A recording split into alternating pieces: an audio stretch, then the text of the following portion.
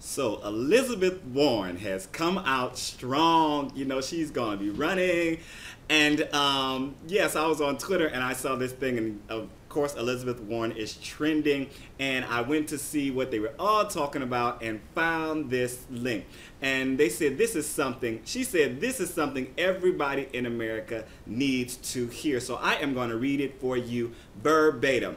It says, uh, there is nobody in this country who got rich on his own. Nobody. You built a factory out there. Good for you. But I want to be clear. You moved your goods to market on the roads that the rest of us paid for. You hired workers the rest of us paid to educate. You were safe in your factory because of police forces and fire forces that the rest of us paid for.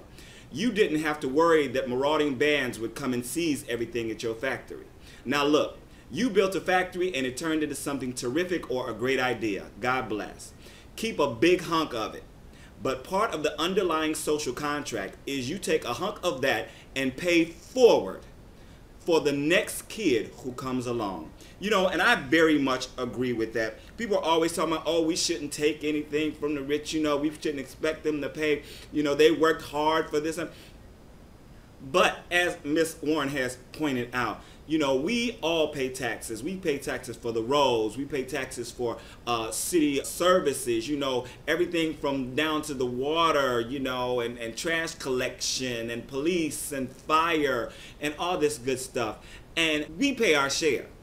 And once somebody gets so much more, they should be paying their, their share. They should not be getting out of, you know, paying so much tax just because they have become rich and now they can hire someone to get them out of certain things. Um, I, and I and listen, I do believe in getting all of the deductions, the deductions that the government will give you. Okay, I believe in that because if it's there, it's there. Part of the problem, in my opinion, is that there are too many loopholes in the tax codes.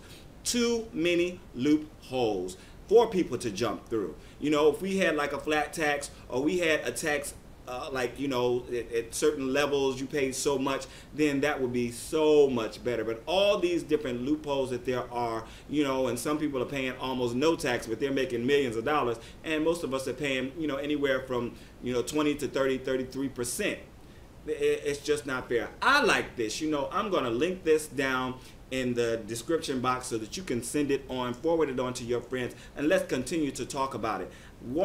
Between Elizabeth Warren and Warren Buffett, I think the right is really up in arms right now.